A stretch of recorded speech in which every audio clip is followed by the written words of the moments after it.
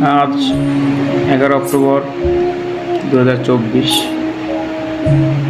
আজকে একটা কথা বলি, মানুষের জন্মদিন সম্পর্কে একটা কথা বলতে চাই। এ ব্যাপার হলো আমার জন্মদিন। তো ব্যাপার হলো, জন্মদিন আসলে উদযাপন করার আমার মনে করি কিছু নাই। আর মানুষের মানে খুশি হওয়ারও কিছু নাই। আমার মনে হয় এটা মানুষের একটা কষ্টের জায়গা হওয়া উচিত। আপনি জীবনে যতদিন বেঁচে থাকবেন ধরেন কতদিন বাঁচবে হায়াত? মৃত্যু আল্লাহর হাতে বা সৃষ্টিকর্তা আপনার দশ, পনেরো, বিশ, তিরিশ, চল্লিশ, পঞ্চাশ, ষাট, সত্তর, একশো বছরও বাঁচে।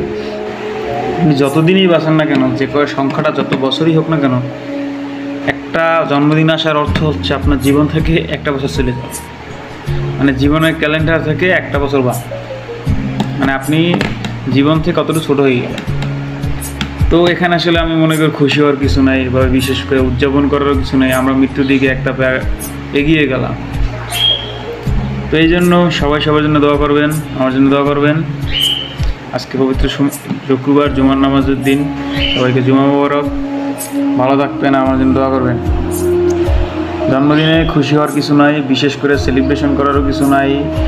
এই বন্ধু বান্ধব নিয়ে কেক টেক কাইটা পার্টি মার্টি করে কেউ মদ খায়, কেউ বড় রাইড দেয় হ্যাং করে। এত আনন্দিত হওয়ার কিছু নেই। আমি মনে করি যে জীবন থেকে একটাবারও পিছিয়ে গেল মানে একটা সময় শেষ হয়ে গেল।